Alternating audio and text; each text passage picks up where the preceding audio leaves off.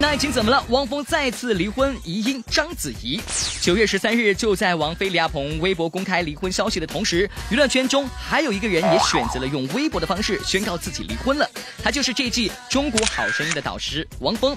由于和天后人际上存在着悬殊，汪峰离婚的消息一开始并没有引起大家的关注。但很快，小伙伴们都惊呆了，因为有消息称汪峰离婚是因为章子怡。昨天在章子怡新片非常幸运的上海发布会上，记者们问的最多的就是她与汪峰的事。昨天有西安媒体想在汪峰的演唱会上找到您的眼睛，就是想呃追访您跟汪峰的那个。您在这发布会的时候，能回应一下汪峰的感情吗？谢谢。我让大家失望了，因为我没有在西安，我怎么会在西安呢？我是在上海。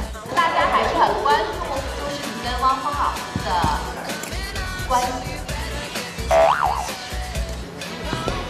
面对记者们的步步紧逼，在大世界的国际章都有些招架无力了。眼见逃不过此劫，章子怡最终还是对事件做出了正面的回应。汪峰老师自己已经辟谣了，你还需要我再多说什么吗？我想跟大家分享一个我现在的心情，就是，呃，其实我跟在座的每一个朋友都是一样的，我们大家都会有，呃，收获爱情。和失去爱情的时候，我觉得这个再正常不过了。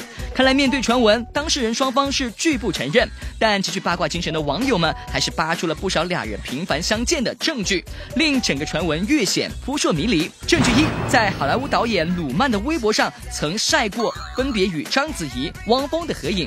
从相片的背景上来看，两人是参加同一饭局。证据二，今年七月，有网友在微博上爆料称，自己在洛杉矶的街头见到章子怡与汪峰牵手同行。而根据行程的安排，章子怡那几天的确是在美国宣传《一代宗师》。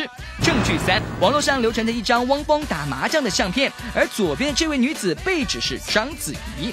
证据四，今年七月底，章子怡与汪峰一同去观看了陈奕迅的演唱会，当天两人都戴了副大黑框的眼镜，一起。与伊森大方合影，究竟这两位看上去毫无交集的明星是好朋友还是真恋人人呢？不管怎样，小编还是抱着祝福的态度。这时代还是很需要相信爱情的。